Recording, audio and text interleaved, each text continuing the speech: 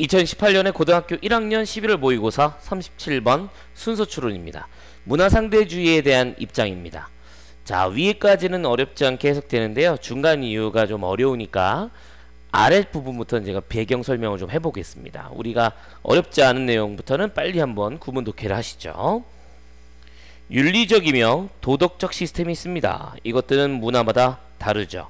어떤 문화에서는 어른을 보면은 무조건 경, 공경하면서 고개를 숙여서 인사해야 한다고 어떤 동네에서는 you you you 이렇게 얘기하는 문화도 있습니다. 문화 상대주의에 따르면 이러한 시스템 모두 자체가 다 똑같이 유효하고 어떠한 시스템도 또 다른 어떤 시스템보다 더 낫다라고 볼 수 없다는 것이죠. 이런 문화 상대주의적인 것의 기초는 is the notion that 대절이라는 개념에 기반을 두고 있습니다. 자, 대절이라는 개념은 쭉 적혀 있는 동격에 되신 거죠. 너무 시커멓네요. 색깔을 좀 더 밝게 해보면 더 잘 보일 듯 합니다. 잘 보이시나요? 네. 어떠한 진정한 굿과 evil, 선과 악의 기준들도 실제로 존재하지 않는다라는 개념입니다. 어떻게 쟤들 저런 행동을 하지? 쟤는 어떻게 저런 행동을 하지? 라고 하는 선과 악의 개념이란 게 상황에 따라 다르고 문화에 따라 다른데 왜 우리의 문화를 갖고 저 사람들을 욕하는가 라고 얘기한다는 거죠. 결과적으로 judging whether something is right or wrong 문장 동사는 is 비동사니까 앞에 나와 있는 이 부분은 judging이라는 3인칭 단수의 동명사가 이끄는 목적어가 되겠습니다. 그래서 동사는 based on이 되니까요. 무언가가 옳은가 틀린가에 대해서 판단하기로 해석되는 거죠. 그것은 개인이 있는 개인의 개별적 사회의 믿음 그리고 도덕적인 그런 것들에 달려 있는 것이고 어떤 도덕적 윤리적인 의견도 affected by individuals 그 사람의 문화적인 관점에 따라 영향을 받는다는 것입니다. 자 여기서부터는 전환이 이루어지죠. 하지만 그러나 이 문화적인 상대주의에는 inherent 기본으로 갖고 있는 logical inconsistency 논리적인 불일관성 불일치성이 존재할 수밖에 없다는 것입니다. 만약 어떤 사람이 어떤 사람이 받아들여요. accept the idea. 대절이라는 생각을 한번 받아들였다 칩시다. 동격이 되시니까 이만큼입니다. 옳고 그른 것은 존재하지 않는다 라고 생각한다면 나 이제부터 옳고 그른 거를 조, 뭐 존재하지 않다고 생각해요 라고 한다면 there is no way to 처음부터 판단할 수 있는 근거는 존재하지 않기 때문에 이때는 뭐라고 얘기할 수가 없다는 거죠. 한마디로 당신이 옳고 그렇고 옳고 그름의 그런 개념이 없는데 처음부터 그걸 어떻게 판단하냐는 거예요. 무엇이 옳고 뭐가 그른데요. 근데 어떤 걸 판단하겠다는 거예요. 그 판단의 기준점이 없다는 거죠. 아, 제 생각엔요. 사람을 죽이는 건 옳지 않아요. 근데 옳지 그, 옳고 그름의 기준이 없다면서요. 저 사람들은 내전 중이에요. 싸워 죽일 수도 있는 거죠. 아 그런가요? 정말요? 혹은 이 동네 사람들은요. 저 사람들을 잡아먹어요. 근데 원래 그 나라의 문화입니다. 그 당신을 잡아먹을 거예요. 그거 인정할 거예요? 애매하다는 거죠.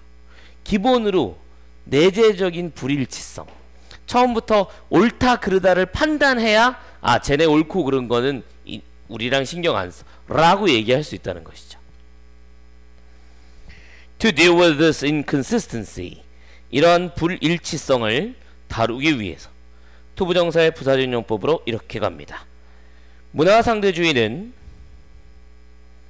create tolerance 다루기 위해서 관용이라는 개념을 만들어내죠. 관용 원래 참다라는 뜻이죠. tolerate 참다라는 동사에서 나온 명사 관용입니다.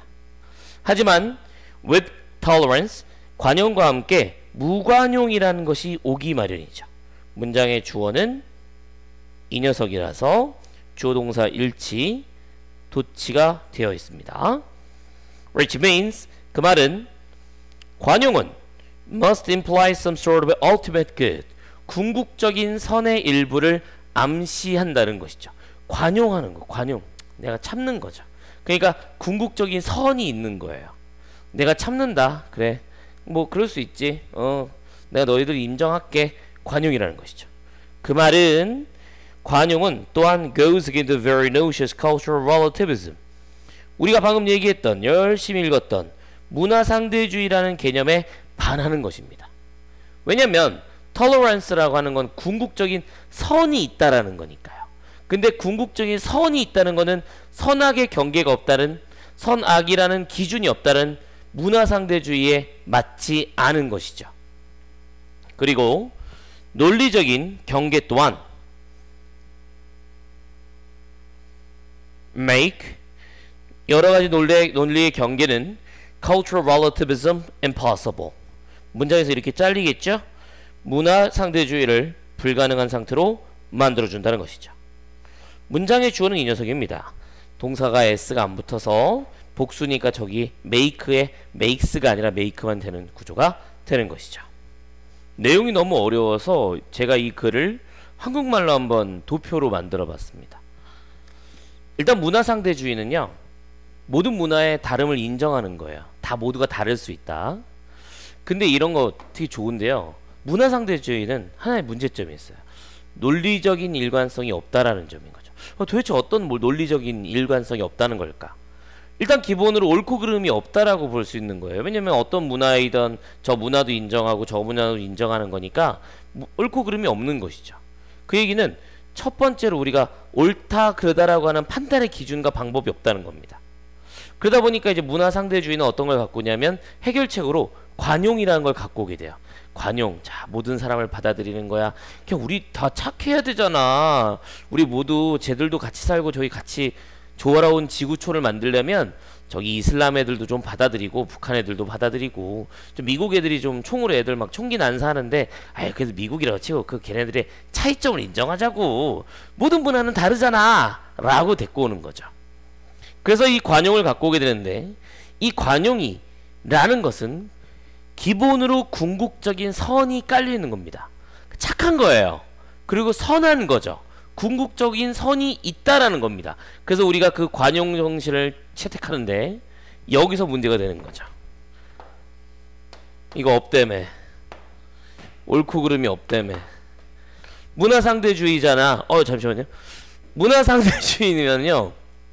옳고 그름이 없는데 옳고 그름이 있네요. 이게 바로 논리적 일관성 상실의 증거다라는 것입니다. 저는 개인적으로 문화 상대주의적인 입장이에요. 문화마다 다를 수 있고 인정하자. 우리가 그들을 잘 모르기 때문에 우리의 잣대로 판단하지 말자. 하지만 생명이라든지 인권이라든지 혹은 어떤 자유라든지 제 우리가 누리고 있는 너무 훌륭한 것들은 남들도 좀 누리면 좋겠다라고 생각하는 것이죠. 이거는 어찌 보면 문화 상대주의적인 자세는 아닙니다. 어찌 보면 어떤 사안에 대해서는 문화 상대주의적인 자세를 갖고 남을 이해하되 그들이 누려야 될 것을 못 누리게 된다 그런가 우리가 그런 훌륭한 권리 같은 걸 뺏기게 된다든가 이럴 때는 충분히 절대적인 근거를 갖고 싸워야 될 거다라고 생각을 합니다. 대부분 사람들이 생각하는데요. 이렇게 문화 상대주의가 상당히 좋은 것처럼 보이지만 내재적인 단점이 있다는 점을 열심히 순서 추론으로 설명한 글이 되겠습니다. 내용이 만만치 않은데요. 제가 다음에 보너스 동영상도 한번 올려드리도록 하겠습니다. 지금은 여기까지 진행하겠습니다.